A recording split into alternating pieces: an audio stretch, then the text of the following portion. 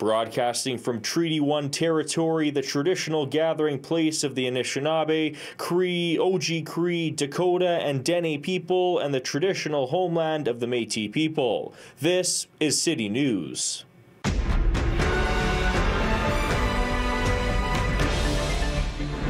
The big issue for many Manitobans is health care. Budget Day in Manitoba is Tuesday. What you can expect.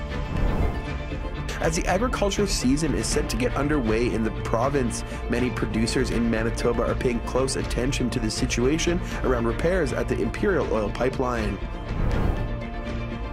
So it's money in people's pockets while we continue stepping up in the fight against climate change. The Prime Minister defends the carbon tax as the price on pollution goes up.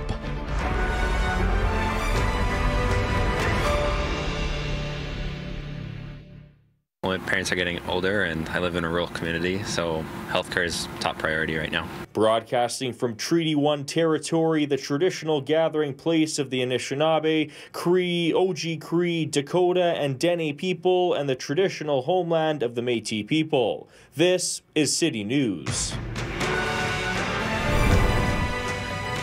The big issue for many Manitobans is healthcare. Budget Day in Manitoba is Tuesday. What you can expect. As the agricultural season is set to get underway in the province, many producers in Manitoba are paying close attention to the situation around repairs at the Imperial Oil Pipeline. I'm not sure that uh, the ordinary person in Winnipeg even knows the significance of the RCAF. The city of Winnipeg turns blue to celebrate 100 years of the Royal Canadian Air Force.